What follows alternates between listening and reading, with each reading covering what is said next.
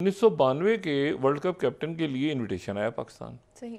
तो पाकिस्तान की तरफ़ से कहा गया कि वो अपनी ज़ाती मसरूफियात की बुनियाद पे शिरकत नहीं कर सकते। तो उनकी तरफ़ से माजरत कबूल की जाए। तो उन्होंने कहा जी अच्छा। दिल की भड़ास निकाल रहे हो।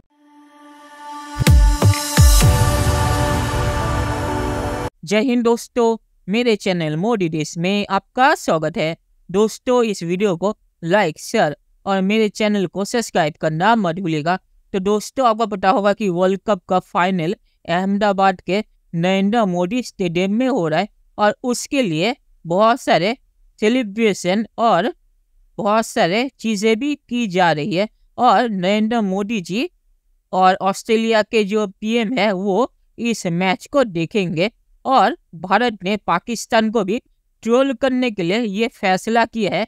मतलब कि ट्रोल नहीं, ये फैसला पहले ही था कि वर्ल्ड कप के जो भी टीम जीती है, उनके जो कैप्टन है, वो स्टेडियम के अंदर मैच होने से पहले मार्च करेंगे।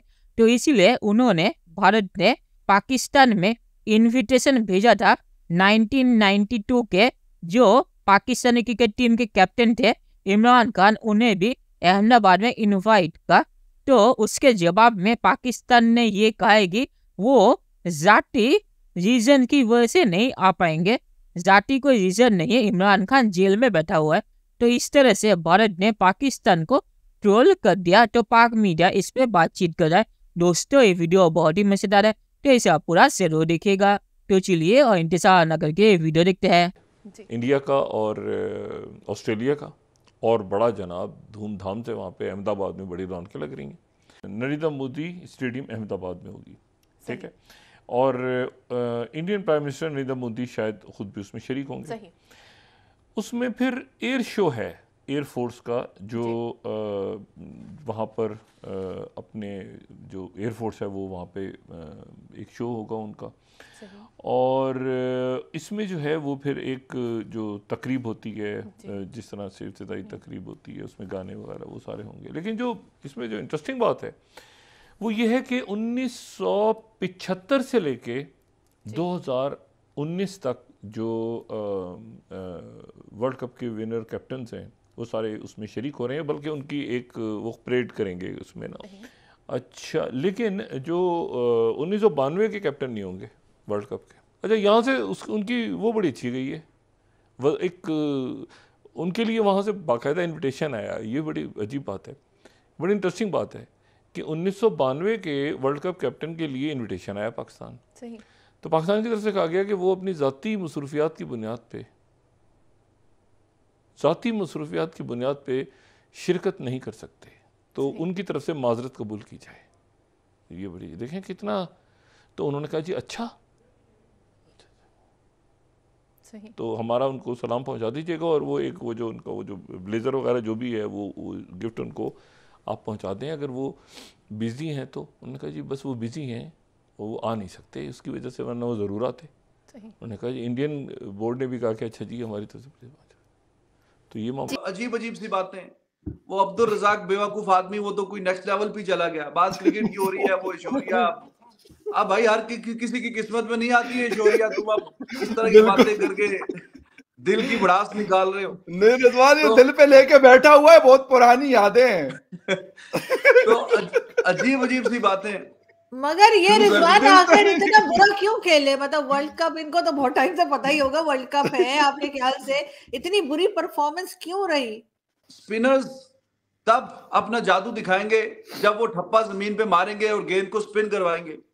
ये इतने शहजादे हैं कि ये फुल टॉसिस करवाते हैं। ये इतनी जहमत ही नहीं करते कि जो गेंद है उसका ठप्पा ज़मीन पे लगे तो बिल्कुल। कोई पिच अपना कोई जादू दिखाए कुछ ये करे। जब आप फुल टॉसेस। करवाते रहेंगे तो पिच जैसा भी हो क्या फ़र्क पड़ता है? और स्पिन बॉलर्स फुल टॉसेस करवा रहे हैं और ऑफ़ साइड के बाहर इजी बाउंड्री बॉल्स दे रहे हैं। यस आधे पिच पे ठप्पे मार के छक्के खा रहे हैं। तो कोई एक्यूरेसी नहीं है इनकी। कंसिस्टेंट और जो दूसरी टीम के बैट्समैन है उनको पता है कि हमें रिस्क लेने की ज़रूरत नहीं है क्योंकि हर ओवर में माशाल्लाह से अच्छी सी प्लेट में रख के दो बाउंड्री बॉल्स तो ये देंगे तो उसी पे आप चौके मारे उसी पे छक्के मारे। और उसके साथ फिर अब हम बिल्कुल। अब मतलब अब कितने साल हो गए हैं उसको खेलते हुए शादाब को? आठ नौ छह सात साल हो गए। नमाज़ भी काफ़ी अरसे से अब टीम में। है उसामा को भी लेके गए हैं। तो तीनों आप देखें हमारा टेक्निकली एक नॉकआउट मैच था न्यूजीलैंड के खिलाफ जो मस्ट विन हाँ। था। तो हमने अपने सारे माशाल्लाह से शहजादे जो स्पिनर है बेंच पे बिठाए हुए वो वहाँ पे बैठे हुए थे ऐसे करके तीनों। तो इस काबिल ही नहीं थे कि उनको आप अपनी प्लेइंग इलेवन में डालें क्योंकि उन पे कोई भरोसा ही नहीं था। पूरे वर्ल्ड कप में उन्होंने बेकार परफॉर्मेंस मुझे ये बताएँ कि वर्ल्ड कप का फॉलो कर रही हैं? नहीं।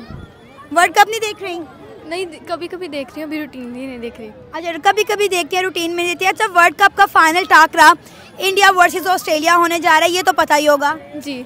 तो आप किस टीम को सपोर्ट कर रही हैं आपको क्या लगता है कि कौन जीतेगा? मैं स्पोर्ट ऑस्ट्रेलिया कर कर रही हूँ लेकिन मुझे लगता है कि जीतेगा इंडिया। स्पोर्ट ये ऑस्ट्रेलिया को कर रही है लेकिन इन्हें लगता है कि इंडिया जीतेगा ऐसा क्यों? मुझे लगता है क्योंकि इंडिया ज़्यादा अच्छा स्कोर बना सकता है। इंडिया नो डाउट बहुत अच्छा स्कोर मार रहा है। आपसे भी बात करते हैं। आपको क्या लगता है कौन जीतेगा? इंडिया। इंडिया जीतेगा। इतना कॉन्फिडेंस इंडिया के ऊपर। इंडिया ने अपनी टीम अच्छी कर ली है। इंडिया अच्छा खेलती है। ऑस्ट्रेलिया से क्या उम्मीदें बसते हैं क्या ऑस्ट्रेलिया इंडिया को टफ टाइम देगा? नहीं इंडिया ही जीतेगा। वन साइडेड मैच होने वाला है। हाँ जी। आप इंडिया की टीम की अगर बात करें तो आपका फेवरेट प्लेयर कौन है इंडियन क्रिकेट टीम में? विराट कोहली। विराट कोहली क्या वजह है? विराट कोहली की हर लड़की फ़ैन क्यों है? क्योंकि वो पाकिस्तान में ज़्यादा मशहूर है। इंडियन टीम की परफॉर्मेंस पर क्या कहना चाहेंगी? मतलब वर्ल्ड कप में उन्होंने क्या आला कारकर्दगी दिखाई है तमाम के तमाम मैचेस लगातार इंडिया जीता है एक मैच भी नहीं हारा। इंडिया इंडिया ने जीत जीत के अपना बहुत अच्छा स्कोर बना लिया और वो पाकिस्तान से भी काफ़ी मैचों में इस दफ़ा जीत गया है। तो इसलिए मुझे लगता है कि इंडिया ही जीतेगा। वर्ल्ड कप इंडिया का। वो हमारे प्लेयर्स की फिटनेस हो उन्होंने बात की बॉलिंग की यकीन करें कि मतलब इतनी अफसोसनाक बॉलिंग थी हमारी इस इस वर्ल्ड कप के अंदर। दुख होता था कि यार आप हालाँकि हमारे यहाँ हमारे हवाले से मशहूर था कि ना हम 400 रन बना पाते हैं और ना हमारे खिलाफ 400 बनते हैं। वो सारा कुछ हुआ। वो तो चले एक हमारी खुशकिस्मती थी कि फखर और बारिश दोनों ने काम किया और वो हम मैच जीत गए। अदरवाइज़ हमारी परफॉर्मेंस इस उसकी नहीं थी। आप लोग कह रहे थे ना जिसे में फाइनल में जाना चाहिए क्यों जाना चाहिए? चले दोस्तों इस वीडियो पे बात करते हैं। तो जिसने भी ये आइडिया निकाला है उसे अवार्ड मिलना चाहिए। क्योंकि ऐसा तो नहीं हो सकता कि बीसीसीआई में किसी को भी पता ना हो कि इमरान खान जेल में बैठा हुआ है।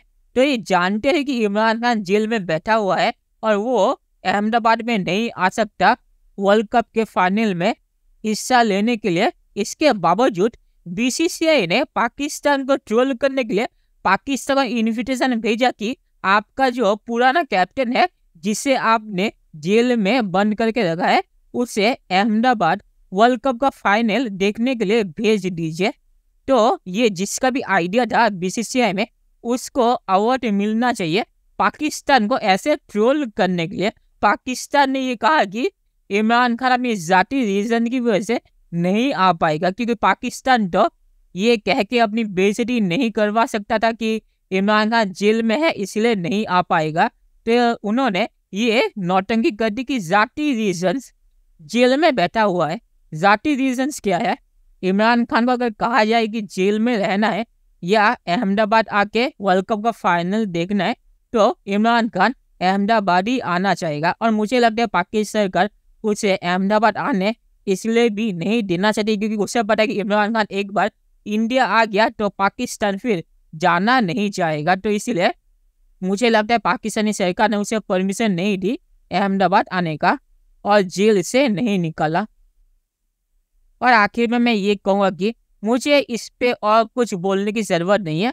पाकिस्तानी मीडिया में उन दो बंदों के मुँह देख के ही आपको पता चल गया होगा कि पाकिस्तान की ये सुन के क्या हालत हुई होगी।